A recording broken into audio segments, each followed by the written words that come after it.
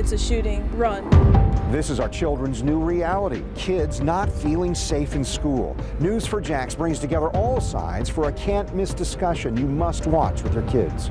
Generation Under Fire, a town hall hosted by News 4 Jax anchors Kent Justice and Melanie Lawson, looking to answer the question to how do we keep our kids safe? Generation Under Fire, a town hall meeting, live, on air and on Snapchat, Wednesday at 8 on Channel 4, the local station.